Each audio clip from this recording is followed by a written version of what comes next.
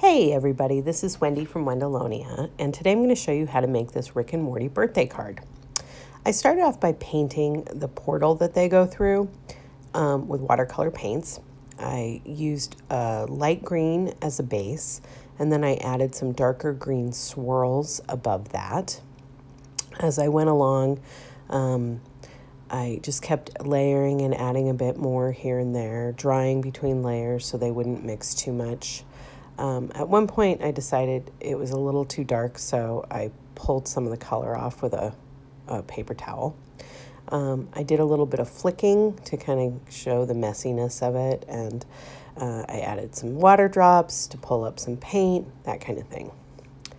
So once I was happy with that, I went ahead and dried it with my heat gun, and then I pulled off the tape and it was ready to trim. I decided I wanted a little bit of a border around the edge. This original one was four and a half by six inches, and I trimmed it down to like four and three eighths by five and three eighths, something like that. Um, basically, I just pulled about an eighth of an inch off of a standard card base size. I don't think I'm saying the right dimensions there. So once I had it trimmed, I put it on top of a card base to make sure I liked the way it looked, and I did. I used a green card base. And then I decided to start putting the card together.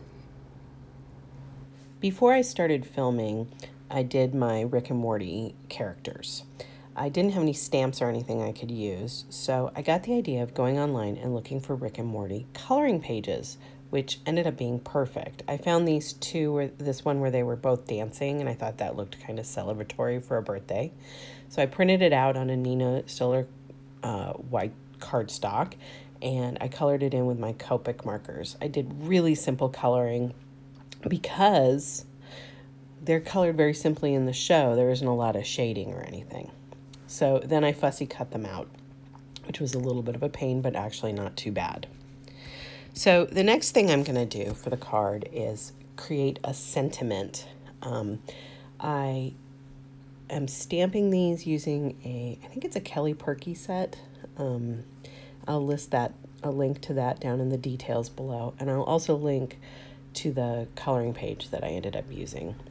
And I'm using Versamark ink with white embossing over the top to spell out happy burp day. So, sort of like Rick and Morty would say, like Rick would do, burp, like that. Um, so, fun fact my son really loves Rick and Morty. And last year, when they released the Szechuan dipping sauce at McDonald's, one of the McDonald's in our area was giving them away. There weren't very many that were given out. I think there were only a thousand were given out total, something like that. And he got in line with his friends at McDonald's at 5 a.m. he was like the sixth person in line or something like that. And he waited in line until 2 p.m. And he was one of the people who got um, some of the Szechuan dipping sauce. He also got a limited edition poster, which is really nice. Um, he got the one for the special sauce, not the Szechuan dipping sauce, but it, it looked really, it's really good looking. We have it framed and it's hanging on the wall of his room.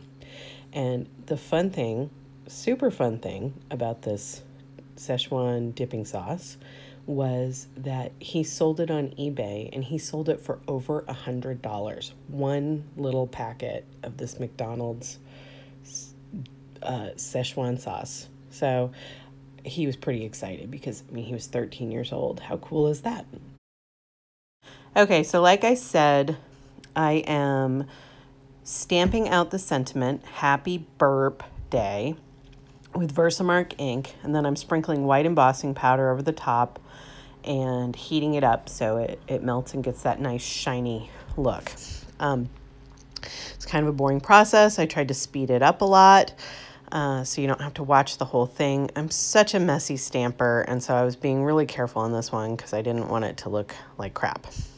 All right, so next up, I have my Rick and Morty characters who I colored with Copic markers and now I'm just kind of arranging the card. Excuse my head there. I have to lean directly over the card to make it um, line up right. I never get it right if I don't do that.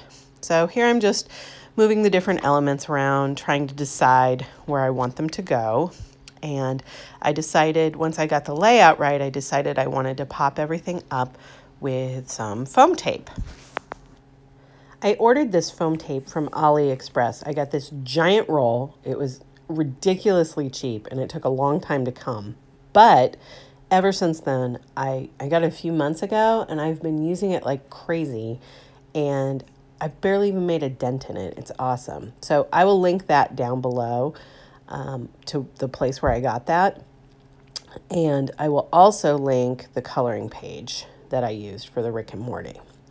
So now you're going to see me adding foam tape onto these figures and things for what feels like 40 years. I swear to God, when I make a card, the foam tape part of it takes longer than everything else combined sometimes. It's ridiculous, but it does look nice once it's done. So I guess it's worth it. Uh, I don't know, you be the judge. If you want to just tape it all down, that's fine by me. So you'll see here I am. I'm still putting foam tape on Rick. Still putting it on. Still putting it on. Still putting it on. Still putting it on. Oh, finally I got Rick on the court, card. Now it's time to do Morty. And this is going to take another 50 years. But once I'm done with this, I'm done with the card. I was really happy with how it turned out. I thought my watercolor portal looked good. I liked Ricky Morty. I liked everything. I think my son liked it too, but you know, he's 14 years old and it's hard for 14 year old boys to get super excited about greeting cards. He was more excited about the gift that was inside of it, which was a nice fat gift card to Newegg because he's trying to build a computer. So look, do you see this? I'm still doing Morty. Can you believe it? But now the card's done and I'm very happy with it. If you enjoyed this video, I would appreciate a thumbs up. If you want to see more like this, I do lots of crafty videos. You can subscribe to my channel. And if you have any questions or comments, please feel free to leave them down below and I'll try and get to them. Thanks a lot. See you next time.